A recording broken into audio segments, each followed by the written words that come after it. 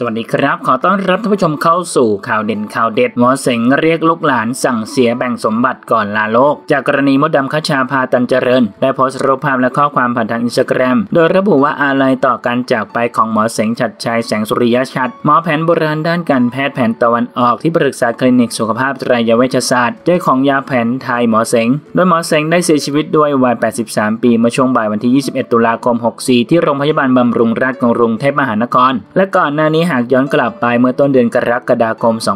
2564 หมอเสงก็ได้ออกมาให้สัมภาษณ์ถึงอาการป่วยของตนเองไม่กี่เดือนก่อนว่า เพราะร่างกายเสื่อมตามวัยแก่แล้ว ผมปัสสาวะไม่ออก เลยต่อมลูกหมากโต ผมไปหาหมอหมอตรวจหมดทุกอย่าง ผมเป็นทุกอย่างเบาหวานความดัน หมอก็ให้ยาพอกินยามากก็เบื่ออาหาร เราไม่กินอาหาร 2 เดือนกว่าน้ำหนักลงไป 10 กิโล ผมยังคิดว่ารอบนี้ผมรอดยาก ผมป่วยหนักผมเลยเรียกลูกหลานมาแบ่งสมบัติ แบ่งกันไปหมดแล้วแต่หลังจากนั้นร่างกายป่วยของผมกลับดีขึ้นด้วยสมุนไพร มีคืนหนึ่งผมนอนอยู่ฝันว่า มีคนมาบอกว่ายังไม่ให้ตายนะ ยังไม่ถึงเวลากลับไปก่อน ไปทำหน้าที่ของตัวเอง ตัวเองเป็นหมอใช่ไหม ไปใช้หลักหมอ ถ้าใครมีอะไรช่วยเขาก่อน ผมก็เลยคิดถึงโรคโควิดเมื่ออะไรมีบุญนะ ผมมีบุญนะ ส่งสัญญาณมาให้ผม ก่อนที่หมอเสงจะเสียชีวิตหลังจากให้สัมภาษณ์ในครั้งนี้เพียง 3 เดือน สุดท้ายทีมข่าวขอเป็นกำลังใจให้กับครอบครัวแสงสุริยะฉัดด้วยนะครับ อย่างไรก็ขอแสดงความเสียใจกับครอบครัวหมอเสงด้วยนะครับท่านผู้ชมนะครับ มีความคิดเห็นอย่างไรกับเรื่องนี้ลองแสดงความคิดเห็นกันเข้ามาดูนะครับ ขอขอบคุณข้อมูลจากสยามสตรีทกับคุณครับ